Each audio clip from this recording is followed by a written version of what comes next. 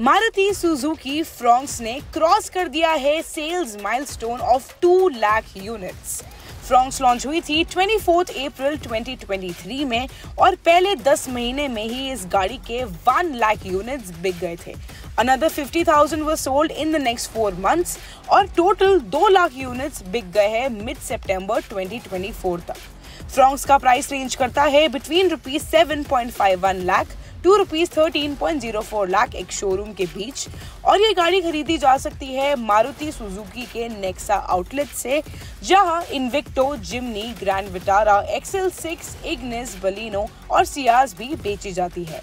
Fronx के power train options include करते हैं one litre booster jet turbo petrol engine जो प्रोड्यूस करता है 99 bhp and 148 nm of torque दूसरा है 1.2 litre dual jet petrol engine जो प्रोड्यूस करता है 89 bhp और 113 nm of torque transmission options include करते हैं 5 speed manual and 5 and 6 speed automatic gearbox fuel types जिसके साथ ये गाड़ी अवेलेबल है, वो है C N G and petrol जिसमें ये गाड़ी 28.51 किलोमीटर पर केजी और 20 से 23 के तक की माइलेज ऑफ़र करती है रिस्पेक्टिवली आपको ये इन्फॉर्मेशन कैसी लगी और आपको मारुति सुजुकी फ्रॉन्ग्स कैसी लगती है, वो आप हमें कमेंट सेक्शन में ज़रूर बताएँ। और अगर आपको ये वीडियो पसंद आई तो इस वीडियो को लाइक और शेयर करें और ऑटो लाइफ को सब्सक्राइब करना ना भूलें। ऐसी ही और इंटरेस्टिंग इन्फॉर्मेशन और अपडेट्स जानने के लिए।